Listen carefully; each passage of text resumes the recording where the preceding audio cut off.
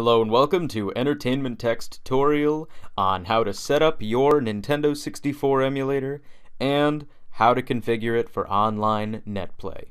Now, if you're worried that you think you don't know anything about Nintendo 64 or emulators in general, don't worry, we're going to start from the beginning.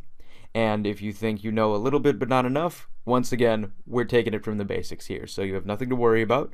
Let's get started, and first thing we're going to need to do is download the emulator packs itself. Luckily, we can do that very easily. I want you to go ahead and open up your favorite internet browser. Mine happens to be Google Chrome, so we're going to open that up, and we're going to go to www.entertainmenttech.net.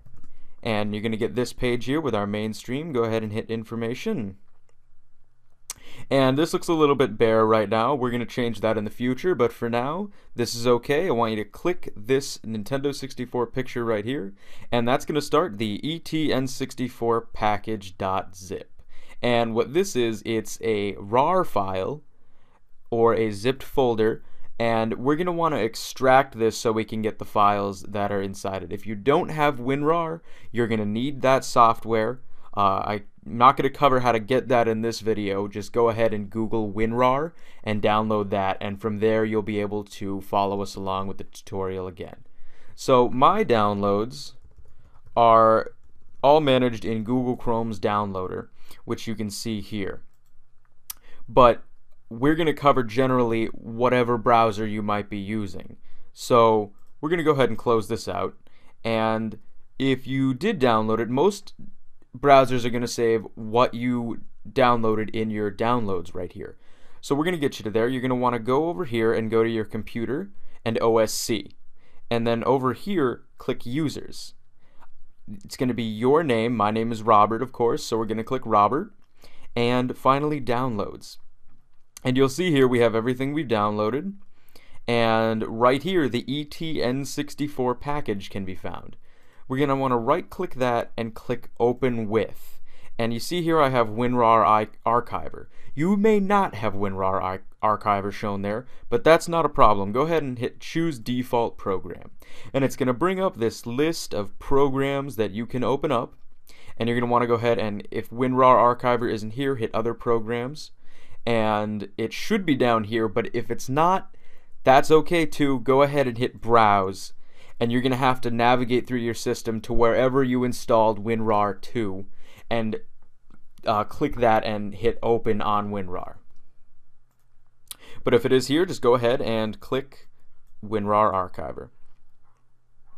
Okay, so it's going to give you this warning. It's not free. Just go ahead and X that out and hit extract to and we're going to want to extract it to a location where we know we're going to be able to get to it in the future.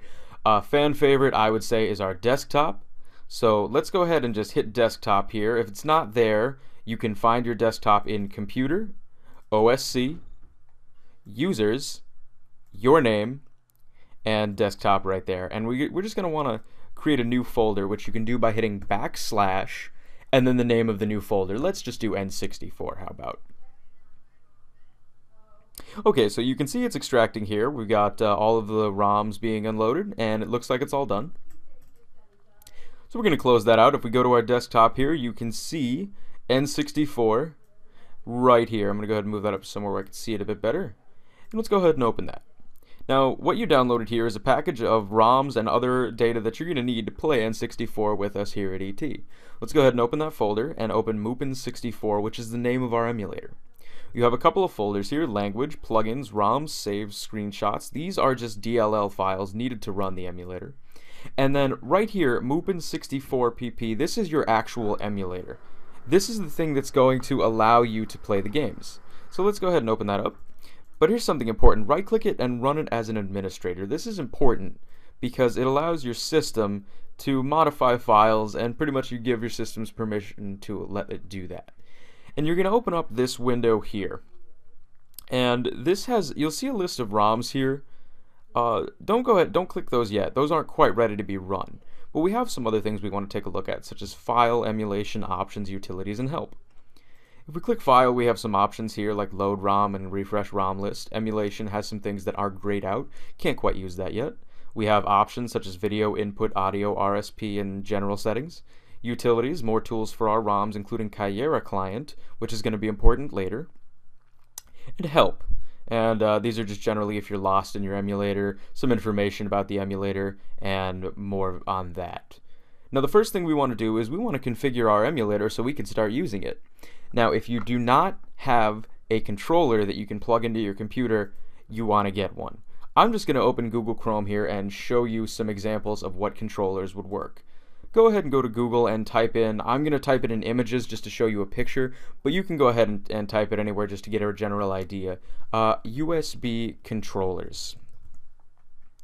And they're going to look something like this. You can get a Super Nintendo one. You can get a Nintendo 64 one. I have a PlayStation 2. And uh, something like this is what I have. And you can buy these at Walmart. You uh, you used to be able to buy them at CVS. I don't think you can anymore. Best Buy has them. Uh, just go around, and you can even use a wired Xbox 360 controller or a wired PS3 controller, as long as it has a USB port, which you can see right here. It can be plugged into your computer and used. So if you don't have a controller, that's not a problem. It's going to be a bit harder to play your games, but you don't actually need one. So let's go ahead and get our controls set up go ahead and go into Options and Input Settings. Now we have four tabs here, I'm sorry, five, including shortcuts, and you want to hit Controller 1, and first you want to make sure that you have plugged checked in. What plug do is you see how one controller and then three others are not plugged. Basically tells your N64 emulator there is one person playing, or two people playing, three people playing, four people playing, on your computer. Now, since we're playing online, you only want one person playing. And we're going to go ahead and set our keys up now. So what we have here is the digital pad. And this is on the N64 controller, the up, down, left, right squares on the left-hand side. So let's go ahead and set those. I'm going to set them to my keyboard. But once again, if you have a controller, now is the time to use it. Start, let's set that to enter. You hit the button here and then hit the key or button on your controller that you want it to correspond to. Keep in mind if you move your mouse, as you can see I'm doing here, it's going to detect mouse input as what you want that key to be, so be careful with that. And we're just going to set some controls here. We're not really going to be using them, so this is just for show, but uh, you can understand what these are. This is your analog stick, which was the control stick in the middle of your N64 controller. These are the C buttons, the blue, or I'm sorry, the yellow four buttons on the right-hand side. And these are your general other buttons, such as your A, B, start, left, right, and Z. And you remember the Z was in the middle prong, and that's pretty important for almost every game. And the last thing we want to do while we're here is go to controller pack and we really want to make sure that this box raw data is unchecked. If you have this checked, the online play is going to get really messy. Just keep that unchecked, okay? And so we have everything uh, we have everything set up here. We're going to go ahead and hit save. And let's just verify that everything stayed the way we wanted it to stay. Go back in and it looks like all of our settings have saved. If not, uh, reset them and what you can do is hit save profile here and it's just going to ask you where you would like to save it. Go ahead and save it somewhere in your ROM directory, which is right here. And next time you can hit load profile and just double tap that file that you just saved and it'll load all your controls back up and go ahead and hit save. Okay, so our controller is all set up. What's next? Well, the next thing we want to do is go ahead and go back into options and go to go back into settings. And you see here we have our plugins. Plugins are the files that are helping us do what we want to do with this emulator, depending on which plugin it is. For example, the input plugin is what's allowing you to hit keys on your keyboard or your controller and then register them to keys into the game. What we are more interested in is our video plugin. We want to drop this down and we want to make sure we're on Glide 64 Wonder++. plus The reasoning for this is that this Wonder plugin fixes a couple of issues, namely Mario Party. If you want to play Mario Party and you're not set to Glide 64 Wonder, it's gonna flicker and it's not gonna be fun. So just make sure you're set to that. But other than that, all of these are fine. And just gonna say something in advance here. This RSP plugin, if you ever start up your emulator and this RSP plugin is missing, just re-download it from the site and redo the setup instructions here. It happens sometimes that this plugin gets lost, but don't worry about it. A simple re-download and resetup will fix all your problems. Okay, so our, our video plugin is set up. That was pretty simple. But we have a couple more things to do before we're ready. The next thing we want to do is go back into those settings and go to directories. This here is usually wrong, so we want to remove that and hit add. And we're going to go down to our folder that we put the emulator in. For me, it's desktop. And then what we want to do here is find in the desktop the N64 and the ETN64 package. Keep going down until you find your ROMs folder. This is the one you want. Click on that and click OK. And make sure once you've done that, you hit OK and that it's saved. This is going to refresh your ROM list here, and that's very necessary so your computer knows where your games are. And once you've done that, we're almost done, just a couple of things left. Go back into settings and just make sure that everything was saved. And these there's some other options here, but you don't really need to mess with them for the most part. If you do accidentally break something, just try to go in here and check that all these settings are the same as mine. Hit OK. So as long as everything's saved, we're good to go. The very next thing we want to do is, hey, we're almost ready to play. Go ahead and hit Utilities. If you go down here, you'll see Kaillera Client, and you'll remember I said that this was important before. Kaillera Client, or however you would like to pronounce it, is the online net play system for Mupen 64. Let's go ahead and click that. It's going to open up this window, and you're going to see a couple of things here, such as NIC, which stands for nickname, connection settings, change mode, and quit message. You don't really have to mess with quit message or change mode too much. What is important is your nickname, change that to whatever you want, and your connection setting. Now, the connection setting is going to be more complicated. This is dependent on your internet. Go ahead and get a good reading of your internet and determine whether you have a decent connection or a terrible one. A good way to do this is to open up your favorite internet browser and go to speedtest.net. This is a system which is going to show you how fast your internet is in three different respects. So once it boots up here, we can hit begin test. And it's just going to run a test here to show me how fast my internet is. Now I have some pretty decent internet speeds, so don't expect if you don't have some computer knowledge or know that you have really good internet to get somewhere close to mine. But if you are close to mine, what you're going to want to do is go into your N64 emulator and make sure that your connection setting is at excellent. So let's see here. I have 51.74 megabits per second of download speed and 10 of upload. That's pretty good. If you've got anywhere close to that, you're golden.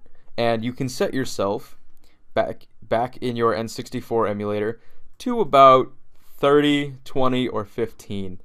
If you're running a little low on these numbers, what you're going to want to do is set yourself to maybe 12 or 10. Going to 12 or 10 isn't that great though, because sometimes it'll kick you out of the games. Just make sure whoever you're playing with has the same setting, uh, I'm sorry, connection setting as you do. So I'm going to go ahead and pick average, uh, just because it's a mid setting and it'll let us connect with the most people. But if you have a very good internet connection, feel free to go ahead and boost your quality by hitting excellent or LAN, but I do warn you, LAN is going to make it quite laggy. As a general rule, if you're running a game and it's lagging, turn down your connection setting. So once we have all that set up, all we want to do is hit master servers list. And this is going to set up a box which is going to say over here pinged servers and some number. Now this is just running through all the currently existing servers for Kaillera client. Go ahead and sort them by ping, and I'm just going to explain what ping is here. Ping is how long it takes your computer to send a message to that server. So we obviously we want a server that is close to us and has a low ping. For me, that would be REMS or the Galaxy Black Hole. West Wonderland and Bob's Entertainment are fine too. As a general rule, as long as it's about 300 or below ping, you should be fine any of these a thousand plus are going to be very laggy for you, and you probably shouldn't join them. So I'm going to go ahead and connect to REMS here. Just double click it. You can see here that we're logging in and the server replied. Here's the IP of the server in case you need to give your friends the IP. And we can see that I'm logged in over here on the right. Now we have chat and CR buttons here. The chat opens up the chat. Well, it should, but it didn't. And CR is if you want to create a game. You can see it opened up the list of games we have, and let's go ahead and hit Super Smash Brothers. It opened up a game down here, which I am currently the only person in, but your friends in this list will be able to double click the game and join you. When that happens, go ahead and hit start, and it should boot the emulator up for you. If it doesn't, you can look over here. I'm just going to go ahead and close this emulator. It was a bit loud, but anyway. Uh, if you see over here that someone had dropped out and you your emulator popped up, that means that they have a, a problem with their save file. And what you should both do is re-download the emulator or if you had saved the file that you downloaded from the site, just extract it again. I want to make something very clear. This is a very, very picky way to do emulators online. If you cannot connect to somebody, it probably means you have something different about your about your emulators. So let's do something here real quick. I want you to open up your N64 ET package, and I want you to take this save folder and I want you to just hit right click it and hit copy, go to your desktop and hit paste.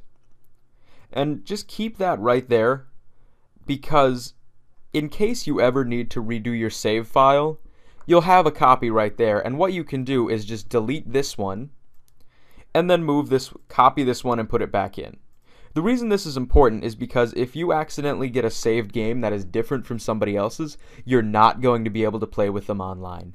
And by doing this, instead of re-downloading the file over and over again and waiting for it to finish, you'll just have a copy right there to put back in and you'll be hunky-dory again. Well, that's about all you need to know in terms of connecting and playing with other people online. I've given you a list of ROMs to play with, which you can double click to play offline or use Kaillera Client to play online. We hope to see you back at ET, and hey, we hope to have you playing with us very soon. Thanks so much for watching. My name is Rob, and I'm signing off.